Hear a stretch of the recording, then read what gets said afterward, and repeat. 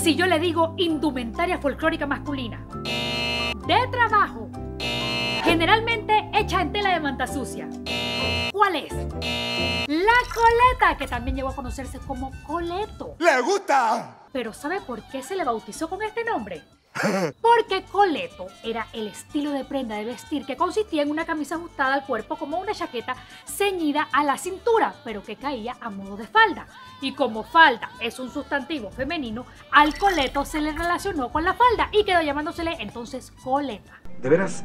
A pesar que el término coleto no es exclusivo de Panamá, esta prenda se utilizó mucho para realizar labores campesinas diarias. Inclusive, en vez de tela de manta sucia, como generalmente se ven ahora, se llegó a usar sacos de harina. Imagínense ustedes, Oh, se ahorraría bastante en tela con sacos de harina, ¿no?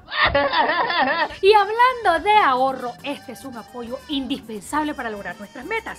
Y lo bueno es que Multibank tiene tu futuro en cuenta, porque Multibank te da la mano. ¿Lo sabía o no lo sabía? Otro tipitip por el para que usted se contagie de panameñidad. Los tipitips por.